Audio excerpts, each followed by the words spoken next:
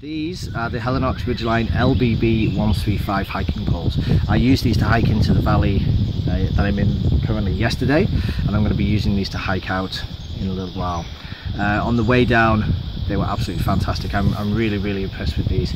I weigh about 90 kilos and I was putting my full weight onto these on some of the trickier bits and the bigger step downs uh, and I was putting these in front and, and, putting my full weight on them and they held up absolutely no problem whatsoever. Helinox on their website say that these are the most technically advanced and adjustable hiking poles in the world uh, and I can see and understand uh, why they're making that, um, that statement. Firstly, the foam grip at the top is really really comfortable really strong and, and supportive on your hand as well. Definitely holding on to it and putting all your full weight into it uh, you're not going to get any any blisters and it's, it's really really comfortable on the hand. I like the fact that it it also goes down a little bit further as well so you can adjust your grip quickly if you if you need to. To actually use these and to open them up it's, it's really really simple. You flip the uh, the locking mechanism here and then you literally just pull them out and it locks into place you then adjust the top section here depending on what height you want to go to. The good thing as well is that it's got centimeter markings on one side and inch markings on the other side as well. So depending on which one you want to use uh, it's got you covered as well. To put them away again it's as simple as that. I'm the mechanism as well.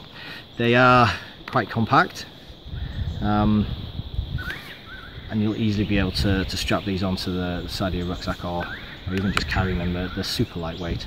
The alloy is the same alloy that the Helinox ground chair is made from, which is the DAC TH72M alloy.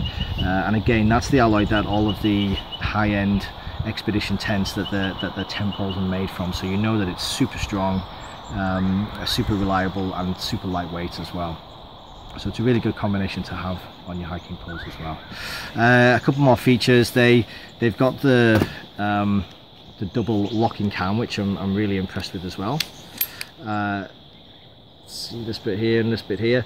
To me uh, a lot of the um, hiking poles that I've used in the past only have one of the of the locking bit mechanisms here. Um, this has two here and here. And to me when you when you're using it and when you when it locks into place it really does feel strong and it really does feel uh, like it's going to hold your weight uh, and do everything that it uh, that it needs to as well. Um, it comes with some rubber tips and it's got uh, the the standard tips for hiking and, and walking on, on concrete and things but it also comes with the uh, the rings for snow hiking as well I've obviously taken these off, they're really easy to take off, pull that bit off, pull the, the snow bit off and just put this bit back on. Super super strong like I said made out of rubber. Uh, I've given these a fair whack uh, the last day or so and there's hardly a scratch on them so you know that they're, they're going to hold up and, and, last quite a bit of time as well.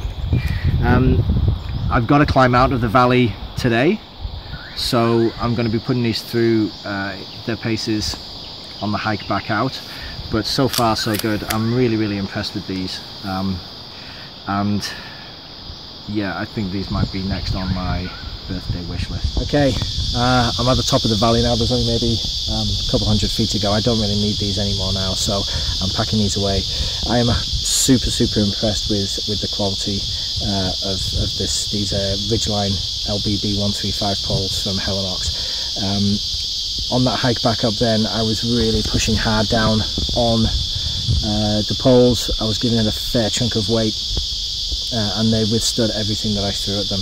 The poles were flexing and bending but you know that, that that's what they're supposed to do uh, and it was a it was a great little hike back out.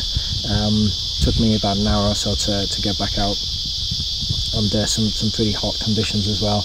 Uh, really comfy grips, as I mentioned, um, and the wrist straps are really comfy as well. I can't fault these, which is why my rating um, is going to be a 9 out of 10. Fantastic piece of kit um, and really worth having if you're, if you're on the market uh, looking for a new pair of, of hiking poles.